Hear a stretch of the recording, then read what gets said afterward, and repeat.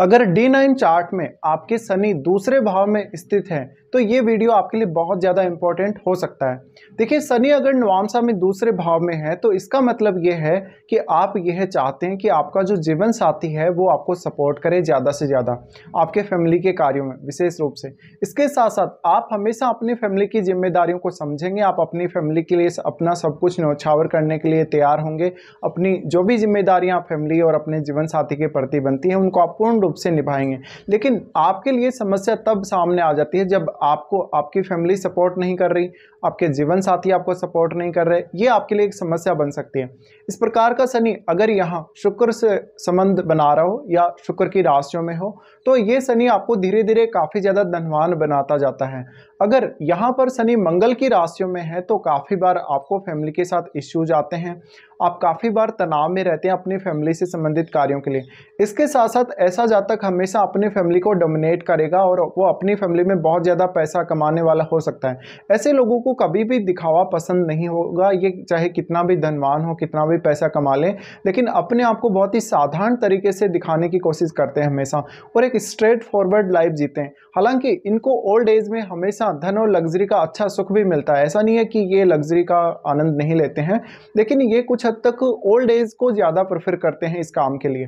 तो यहाँ पे ऐसे जातक जो भी होते हैं, वो अपना लॉन्ग टर्म का प्लान हमेशा ही बना के चलते हैं। जैसे आपने काफ़ी लोगों को देखा होगा कि वो रिटायरमेंट के लिए पैसा इकट्ठा कर रहे होते हैं। वो रिटायरमेंट की प्लानिंग अपनी पहले से ही कर रहे होते हैं, जब वो अपने ट्वेंटीज़ में होते हैं या जो थर्टीज़ में होते हैं, उस समय से ही।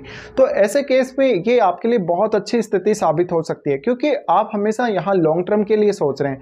आप अगर लॉन्ग टर्म वेल्थ गेन के लिए सोच रहे हैं तो सनी यहाँ बहुत बेहतर रिज़ल्ट दे सकता है। पर आपको उतना ही ज़्यादा डेडिकेशन आत्मविश्वास के साथ और ईमानदारी के साथ काम भी करना पड़ेगा, जो कि सनी आपको वास्तव में प्रोवाइड करता है यहाँ पर। अब सनी यहाँ है तो जातक, फालतू के खर्चे करना बिल्कुल भी पसंद नहीं करता, फालतू की पार्टियाँ करना इधर उधर घूमना फिरना या फैमिली को छोड़कर वो कहीं जाना नहीं चाहता, अगर वो साथ जाएगा तो फैमिली को भी लेकर जाएगा कहीं ना कहीं और जहाँ तक है वो अपनी फैमिली की सारी की सारी जो रिक्वायरमेंट्स है उनको समझता है अच्छे से। वो अपनी रिक्वायरमेंट बाद में पूरी करता है, लेकिन फैमिली की अगर रिक्वायरमेंट है वो सबसे पहले उन्हीं पे फोकस करेगा। तो ऐसा जहाँ तक वास्तव में अनुशासित बहुत ज़्यादा होगा, उसको ये पता रहता है कि पैसे को अर्न कैसे करना है, पैसे को इन्वेस्ट कहाँ करना है। इसके साथ साथ आपको उतना ज़्यादा भौतिक जीवन हालाँकि पसंद नहीं है, लेकिन ऐसा शनि धीरे धीरे वेल्थ एक्मुलेशन के लिए बहुत ज़्यादा अच्छा है। ये शनि आपको काफ़ी मान सम्मान दिलाता है, आपके पास प्रॉपर्टी और धन की अधिकता हो सकती है। जब आपका लगभग फिफ्टी का एज आएगा, उस समय आपके पास बहुत ज़्यादा धन हो सकता है। तो यहाँ स्थित शनि वास्तव में अगर है तो ऐसे में जातक जो भी है, ईमानदारी से बोलना पसंद करेगा हमेशा। हमेशा सबके साथ ईमानदारी से बिहेव करेगा। किसी के साथ भी पैसे के मामले में धोखा नहीं करेगा। पहली बात तो ऐसा जातक किसी से उधार लेना पसंद नहीं करेगा। अगर, फिर भी अगर वो उधार लेता भी है तो वो समय पर अपना पैसा जो है रिटर्न करेगा सामने वाले को। तो ऐसे केस में ये जातक धन को लेकर बहुत ज़्यादा प्रतिबद्ध, ईमानदार देखे जा सकते हैं। इसके साथ साथ ये बिल्कुल सटीक बात बोलने वाले होंगे। और ये काफ़ी सत्यवादी भी होंगे। इसके साथ साथ इनको ये बहुत अधिक पसंद है कि इनका जीवन साथी इनका कितना ज़्यादा सपोर्ट कर रहा है, कितना ज़्यादा साथ दे रहा है। अगर जीवन साथी के साथ इनको कुछ भी इशू आता है तो फिर इनका जो अर्निंग्स है वो काफ़ी ज़्यादा इफेक्टेड हो सकता है।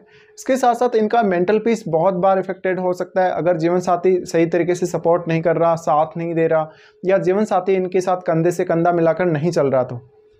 यहाँ स्थित शनि थोड़ा पारिवारिक कलह कभी कभी दे सकता है, क्योंकि आप अपने निर्णयों को लेकर बहुत ज़्यादा कड़े होते हैं। आप अपने जो फैमिली है उसके ऊपर काफ़ी ज़्यादा बाउंडेशंस को थोपते हैं, काफ़ी ज़्यादा प्रोहिबिशंस को थोपते हैं। ये एक थोड़ी सी प्रॉब्लम यहाँ आपको आ सकती है। पर शनि वास्तव में अगर यहाँ मज़बूत स्थिति में है तो ये शनि एक समय बाद आपको ज़रूर काफ़ी धनवान बना देगा। लेकिन फिर भी आप लोगों को धनवान लगेंगे नहीं। आप, क्योंकि वो दिखावा करना कभी भी पसंद नहीं करते। पर आप एक अच्छा लाइफ स्टाइल जिएँगे, ये तय है। तो यहाँ शनि अगर है तो ज़्यादा से ज़्यादा आपको जैसे प्रॉपर्टी वगैरह या आपको कुछ ऐसी चीज़ें खरीदनी चाहिए जो आपके लिए लंबे समय तक काम आने वाली हों और आपका कोई भी अगर इन्वेस्टमेंट प्लान हो तो वो लंबे समय के लिए होना चाहिए, जैसे कि टेन ईयर्स या ट्वेंटी ईयर्स के लिए। यहाँ शनि स्थित है तो वास्तव में जातक को बहुत कम बोलने वाला बनाता है। जहाँ पर भी जातक को रिक्वायरमेंट होगी, वहीं वो बोलेगा। तो ऐसे जातक फालतू का समय बर्बाद करना पसंद नहीं करते। फालतू का तर्क वितर्क करना कभी भी पसंद नहीं करते। जहाँ पर भी रिक्वायरमेंट होगी, वहाँ पर ये ज़रूर बोलेंगे और उतना ही बोलेंगे जितना वास्तव में बोलने की आवश्यकता है। तो इस केस में एक बहुत ही अच्छा प्रबंधित तरीके से व्यक्ति अपने जीवन को चलाने वाला और अपनी फैमिली को चलाने वाला हो सकता है। तो इस केस में आपके लिए सक्सेसफुल होने की संभावना बहुत अधिक बढ़ जाती है। ऐसा जातक कुछ हद तक अगर बिज़नेस करे तो बिज़नेस से काफ़ी अच्छा पैसा अर्न कर सकता है और वो अपनी फैमिली की सारी की सारी रिक्वायरमेंट्स भी पूरी कर सकता है।